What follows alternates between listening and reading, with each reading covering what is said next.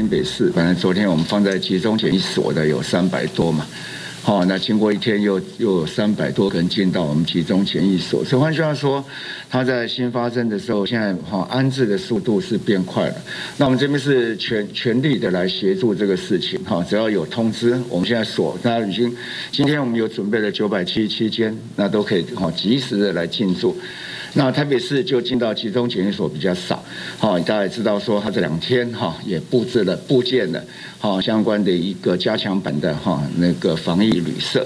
那我们这边在哈也跟大家报告过，我们也在人力上面也请国军来协助，所以建设的在台北市这边渐渐都可以收在哈他们的一个相关的防疫哈加强版的防疫旅社。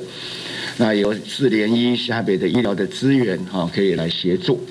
好，那在新北市这边一时在哈建制上没有那么的快，那所以我们会尽全力的来帮忙。那现在都每天的病人都一直在一直在送了哈，这些数数字有一点是滚动式的，不过大家看看这收治的数目的情况就知道了。